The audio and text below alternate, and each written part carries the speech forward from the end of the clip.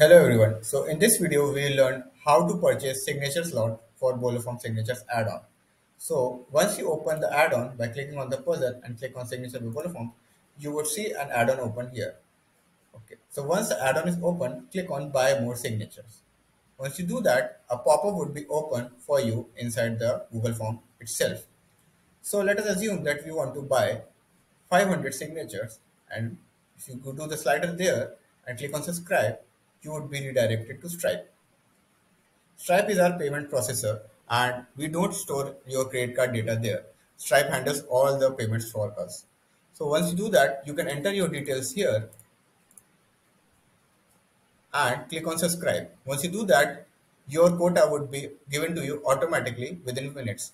If, if, if the quota is not given to you within five minutes, please contact us on support at the or you can directly click on help me button and WhatsApp us regarding the issue and we would be more than happy to help you out.